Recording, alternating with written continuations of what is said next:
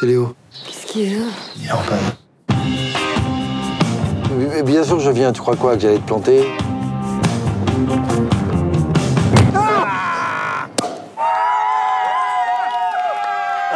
J'ai toujours rêvé de faire ça, j'ai pas pu m'en empêcher, une sorte de test de l'amitié. Tu vois que c'est comme ça qu'on teste l'amitié? Non, ça se teste pas l'amitié. Je suis pas débile.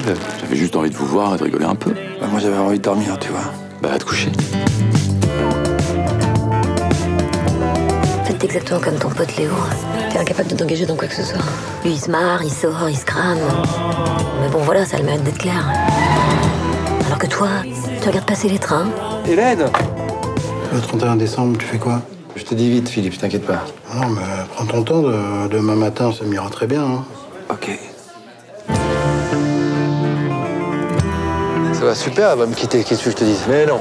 Et les enfants, fait tout ce qu'elle veut. Pourquoi faut toujours faire des gosses Euh, Ça va, il y, a- déjà suffisamment de névrosés sur Terre, c'est pas la peine d'en rajouter. Faut toujours être précurseur, même dans l'échec. Ah, tu te prends trop la tête, je te jure. Bois un coup, détends-toi, tout va bien. Regarde-les. Eh, amuse-toi. Tu vois depuis quelle heure Depuis toujours. Des amis, des vrais, t'en as beaucoup? Qu'est-ce que t'as avec tes questions là aujourd'hui? On en a qu'un dans sa vie.